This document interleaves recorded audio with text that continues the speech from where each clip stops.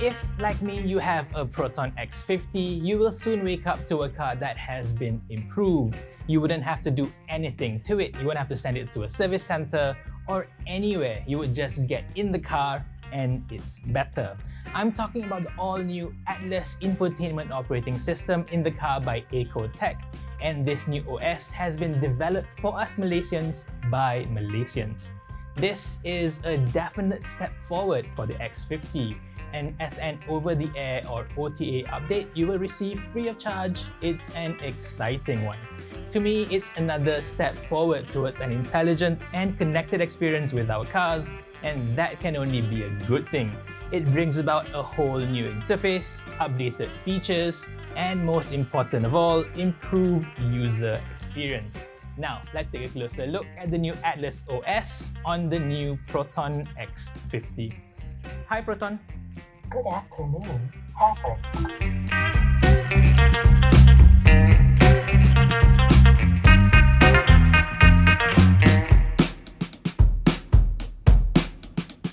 Atlas stands for ACO Tech Local Automotive Services and it's designed as the next generation connected infotainment system for cars. For the Proton X50, it replaces the previous GKUI 19 OS we've had before. Just on the face of it, the screen now looks so much more exciting, more interactive than before. There's more colors, so it's more pleasing to look at more playful as well. And I think that it has a significant effect on your whole experience of interacting with this car. As a whole, it looks a lot more like a modern smartphone or a tablet to operate than before. With large interactive tiles on the home screen, you can then swipe left to access the app icons or pull down from the top of the screen for quick settings and shortcuts.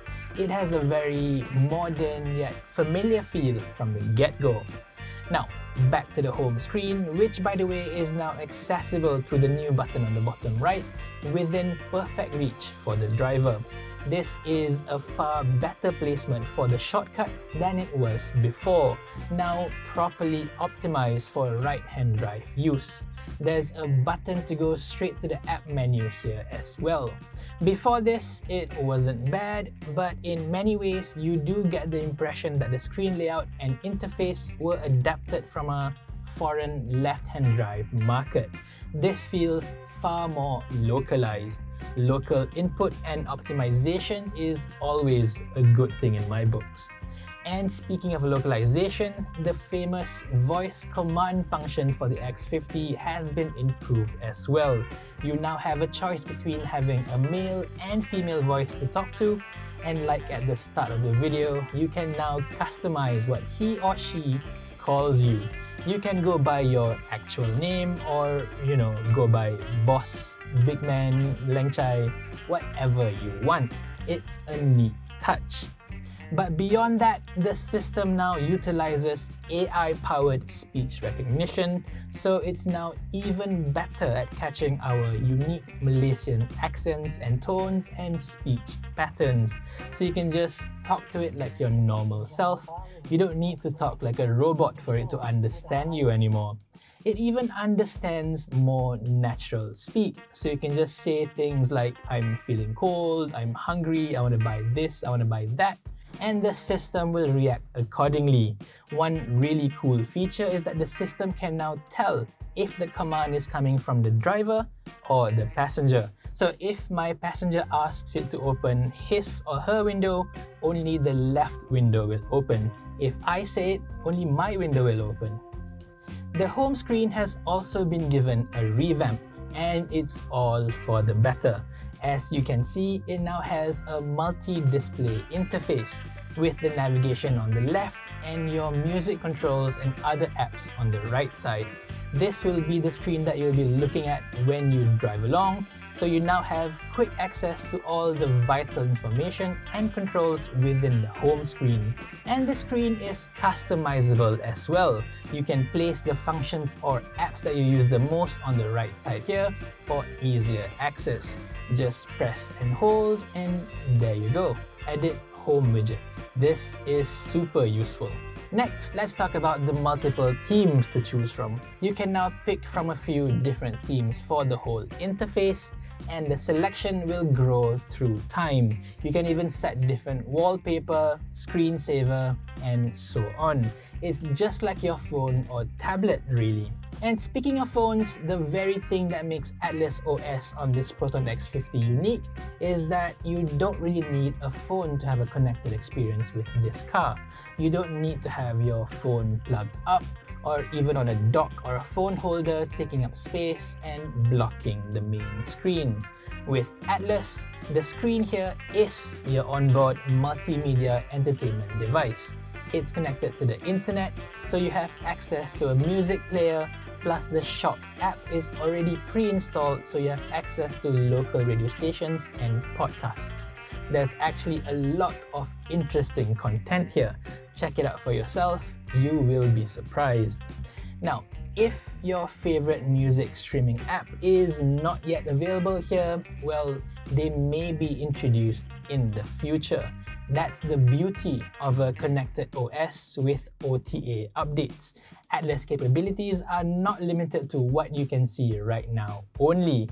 It will be continuously improved through your ownership experience with more apps and features added along the way. The one thing that has a lot of potential is Atlas Pay. With this, you can soon start paying for fuel and other things right from the screen itself. This is the very first in-car payment system in Malaysia and the possibilities for this is super exciting. This will take your connected car experience to the next level. Okay, one feature that for now at least not a lot of X50 users use all that much is the navigation system. A lot of us still prefer to use our own preferred apps for this of course, but tell you what, there are actually quite a few good reasons to start using the onboard navigation system more. You already know this system is connected to the internet, so it really does work and operate like a proper navigation app, complete with traffic information data, live ETA times, and so on. The app itself has also been improved to now use a combination of online and offline map for a seamless, uninterrupted navigation. We've all driven through kampung roads without data before, right? This can still work there. The navigation UI is also new and it's now clearer than before with turn-by-turn -turn directions with a 3D lane guidance. The directions are even displayed on your main instrument cluster as well, which is a nice touch. Folks, do give this a try. I think you will be pleasantly surprised. A new feature with Atlas is the integration with the Atlas Auto app on your smartphone. This app has a similar function set as the old Proton Link app, but with a few additional extras. For navigation, I can now search for the address on my phone and send it to the car wirelessly. So for instance, I can do that from the office and by the time I get into the car, I can just drive off with the navigation system already set up. I don't even have to take my phone out of my pocket. It is pretty cool. Another cool thing you can do through the app is to sync your calendar to the car. So you'll be given on-screen reminders of your next meetings and appointments. You can even get it to remind you of birthdays or anniversaries. And if somehow you still forget to buy a gift, you can do this.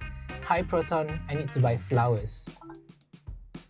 Which do you want? How cool is that? So, the new Atlas OS for the Proton X50 may not be a groundbreaking update by any means, but it's a good step in the right direction, I think. It really opens up vast possibilities for the future, and even now, it's just a better system. To me, it's always the small things that make a real difference to the entire experience. And with this, all the minor improvements really make a significant impact as a whole. Plus, it's free and like I said at the start, it will be offered to you as an over-the-air or OTA update very soon. As easy as that. Having a car that gets better and better through the years is quite special I think. And to have it on a Proton, yeah, pretty damn cool. So that's about it for the new Atlas OS for the Proton X50 by ACO Tech. I'll remind you again that it's specifically developed for us Malaysians by Malaysians. And to me, that stands for a lot. What do you think of all this? Let me know in the comment section below. Thank you for watching and stay safe everyone.